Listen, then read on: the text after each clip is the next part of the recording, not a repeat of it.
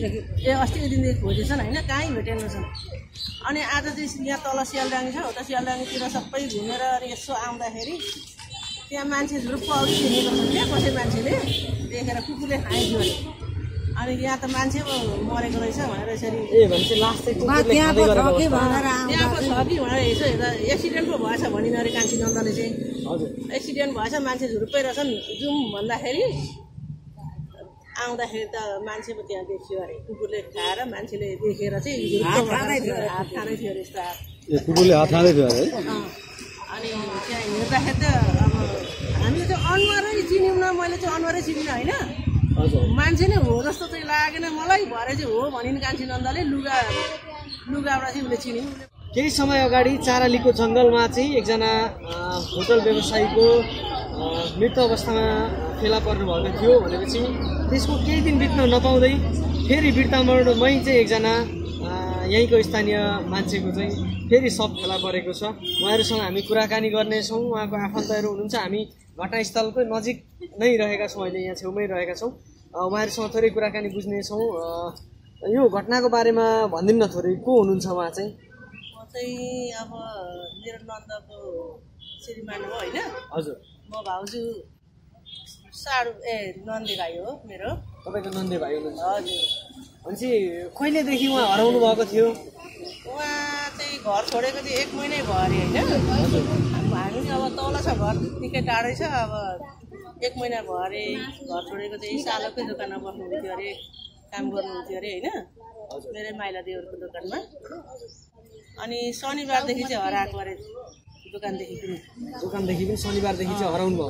शनिबारदेखि हराएको अरे अनि भन्नुभयो अरे मेरो माइला भाइले भन्नुभयो अरे शनिबारदेखि आएकै छैन काममा भन्नुभयो अरे हजुर। अनि सालोकोमा काम गर्नुहुन्थ्यो काम चाहिँ? के काम गर्नुहुन्थ्यो? रागा धप रागाहरू सार्ने यसो रागा हेर्ने त्यस्तै काम गर्नुहुन्थ्यो क्या राति पनि दिउँसो पनि। ए कति वर्षको हुनुहुन्थ्यो उहाँ चाहिँ? उहाँ कति साले अरे कति साले अब कति वर्ष पुग्नु बाहन्न वर्ष पुग्नु होला। बाहन्न वर्ष पुग्नु होला। अनि त्यस्तै अब राति चाहिँ अब ती सुत्नुहुन्थ्यो अरे।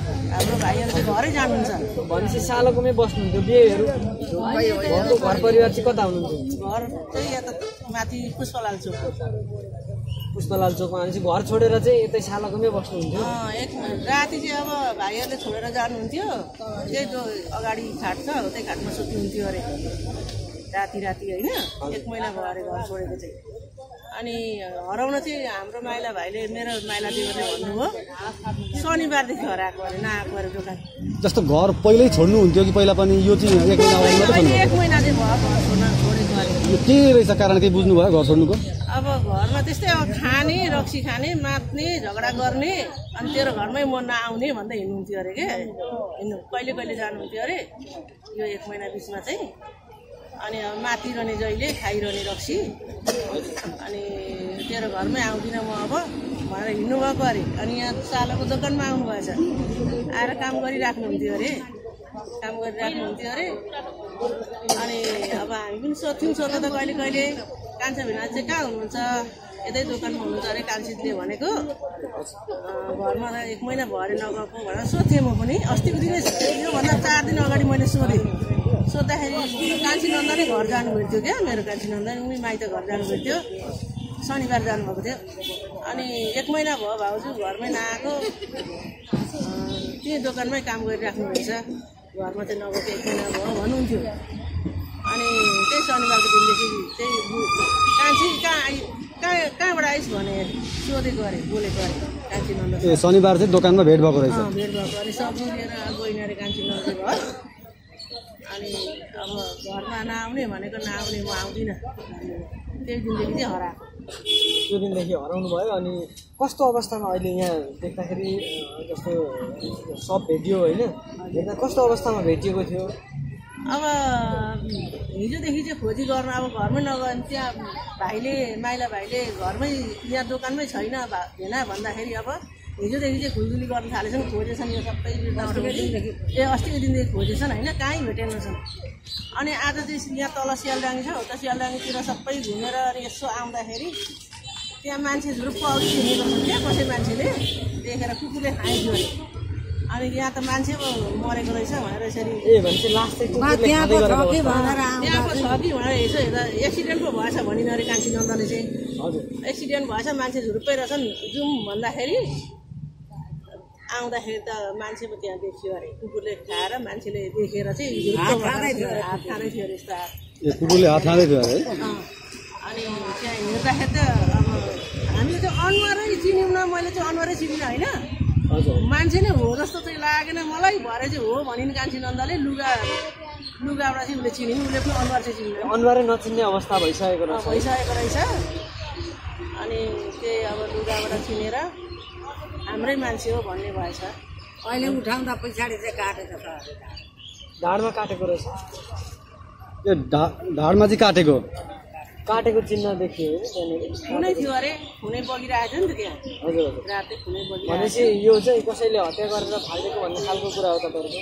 अब त्यहाँ यसो मर्दा चाहिँ कस्तो हुन्छ भने यसो निकै साह्रै साह्रै पर्छ नि त लास जान पनि होइन। साह्रै पर्छ त्यो माडिन्छ नि। गर्दा त भटे भटे गर्दा जङ्गल थियो। अब बा मान्छेले मारेको बा गाडीले हानेर फ्याँकिदिएका हुन् होइन। त्यो चाहिँ अब हामीलाई थाहा भएन। एकैचोटि दुईवटा घटना बिर्तामोडमा घटेका छन्। लगभग शुक्रबार हराएर हराएको मान्छेको भर्खरै त्यहाँ गाउँले होटलका सञ्चालक पनि मृत अवस्थामा यसरी नै फेला पर्नुभयो। भनेपछि यो शनिबार हराउनु भएको शनिबारदेखि भनेपछि उहाँको पनि अवस्था त्यही अनुसारको नै देखियो होइन त्यही अनुसारकै देखियो। अब देख्नको लागि चाहिँ अब बा गाडीले हानेर मारेको फ्यालिदिएको गाडीले होइन? र बाइकले हानेर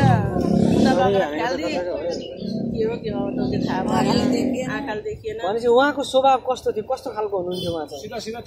अलिक सिधा सिधा टाइपकै हुनुहुन्थ्यो। वातावरण चाहिँ राम्रै गर्नुहुन्थ्यो।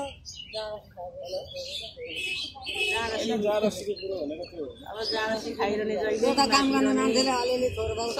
जानुहुन्थ्यो कहिले कहिले तर मलाई दिदी पैसा दिन्न बिस रुपियाँ भन्दै माग्नुहुन्थ्यो अब म त अब रक्सी खाने मान्छेलाई खान मन लागेको होला भन्थेँ दिन्थेँ कहिले कहिले कोहीसँग झै झगडा गर्ने गर्नुहुन्न झै झगडा चाहिँ गर्नुहुन्न थियो कसैसँग। अब त्यसै खाएको बेला त अब जो मान्छेलाई पनि अलिअलि त बोलिहाल्छन् नि होइन। यस्तो कुराहरू बोलिहाल्छन् नि अब। अरू त्यस्तो विरोधी हुने गरी नखाएको बेला त ल्याउँछै हो मान्छे। खाएको बेला चाहिँ अब अलिअलि झगडा गर्ने अब पनि घरकै बुढीसँग मात्रै नि यो घरमा मात्रै पर्ने गर्छ घरमा कतिजनाको परिवार छ? घरमा एक भाइ छोरा दुई बहिनी छोरी एउटी छोरीको बिहे भइसकेको छ होइन? अनि बुहारी छन् दुई तिन नातिनी छन् घर परिवार छोडेर बाहिर बसिराखेको अवस्थामा चाहिँ अहिले एक्कासी मृत अवस्थामा देखियो होइन। त्यो अब त्यही दोकानमै अब छोराले पनि बेलुका आएर त्यही देख्थ्यो अरे दोकानमा शनिबार सुन्छ देखेको अरे होइन। अब घर जाउँ बुवा भनेर जाउँ भन्दाखेरि नाम चाहिँ के थियो उहाँको नाम चाहिँ गौतम गौतम भन्थ्यौँ होइन? गौतम परिवार हो। गौतम परिवार है। गौतम गौतम भन्थ्यौँ हामी सबैले भन्थे सबै गाउँले पनि गौतम भन्थे क्या? गोतामा शिवा हुन् मान्छे चाहिँ अनि नाम चाहिँ गौतम गौतम। राखे क्या? सबैले गौतम भने साराले चिन्थे गौतम भनेपछि चाहिँ। जस्तो उहाँ तपाईँ चाहिँ को हुनुहुन्छ? सा- म सानीमा सासु। सानीमा सासू अनि उता सासू। सासू। उहाँकी बहिनी म। ए जहिले के के भन्नुहुन्थ्यो तपाईँलाई त्यो हराउनु